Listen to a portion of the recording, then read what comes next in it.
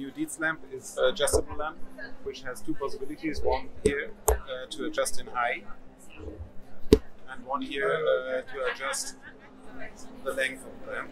And for sure, uh, you can adjust the swiveling head. You can move it up to floor lamp, um, or put it down for a desk or sofa. It's completely mountable and dismountable by the customer, so it's quite simple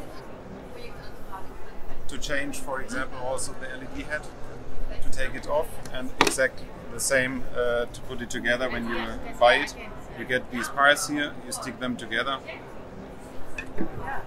and stick it in here, and then the lamp is ready. And here it is adjust- adjusted in, in, in high, and here you can adjust uh, to make it shorter.